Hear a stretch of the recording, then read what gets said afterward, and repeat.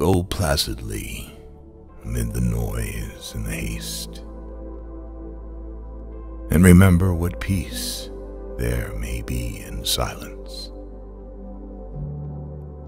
As far as possible, without surrender, be on good terms with all persons. Speak your truth quietly and clearly, and listen to others even to the dull and the ignorant. They too have their story. Avoid loud and aggressive persons. They are vexations to the spirit. If you compare yourself with others, you may become vain or bitter.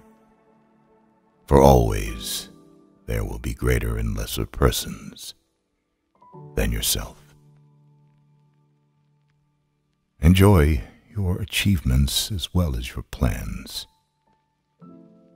Keep interested in your own career, however humble. It is a real possession in the changing fortunes of time. Exercise caution in your business affairs, for the world is full of trickery. But let this not blind you to what virtue there is.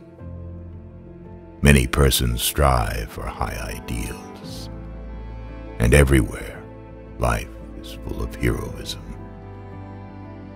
Be yourself, especially do not feign affection Neither be cynical about love, for in the face of all aridity and disenchantment, it is as perennial as the grass.